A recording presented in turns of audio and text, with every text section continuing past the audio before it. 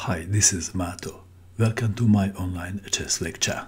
In this video I will show you a game between Alexander Alekhine and Benitez and Vidal. This game was played in Caracas in 1939. Caracas is the capital city of Venezuela. Two friends, Benitez and Vidal, prepared very hard. They practiced day and night and were eager to meet and beat Alekhine. Let's have a look at the game. Alekhine had white pieces and he started with e4. Benitez and Vidal played c6, d4, d5, Caro-Kann defense. e takes on d5, c takes on d5, c4, Panov attack, knight to f6, knight to c3, knight to c6, bishop to g5, d takes on c4, creating isolated queen's pawn on d4. Bishop takes on c4 and now e6. Queen takes on d4 was definitely possible but avoided. Let's have a look what happens. If queen takes on d4, then one line goes like this. Queen to b3, threatening bishop takes on f7, queen to e5 check, bishop to e3, e6, knight to f3 attacking the queen, queen to a5, castling kingside. White has a compensation for a sacrifice pawn. Do you agree? I guess computer would prefer black pieces here. What do you think? A pawn is a pawn. However, two friends opted for development and safety. I think you can't blame them because they saw what happened to other players who grabbed a pawn and lost the game. Knight to f3, bishop to e7 and both players castle kingside. Rook to e1, b6, queen to d3, bishop to b7, rook from a to d1, knight to b4. Attacking the queen. Two friends are really doing well. Do you agree?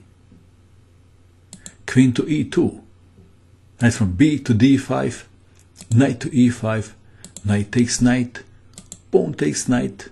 Rook to c8. X-raying the pawn on c3. If I had white pieces, I guess I would play rook to c1, defending the pawn.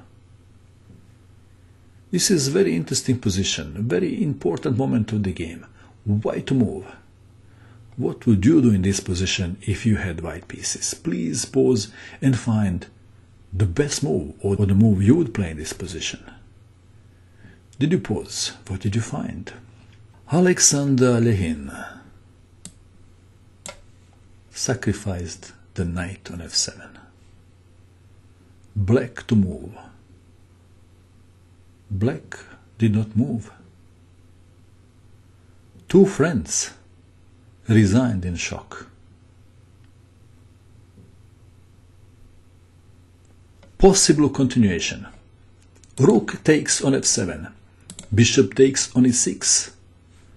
Also attacking the rook on c8.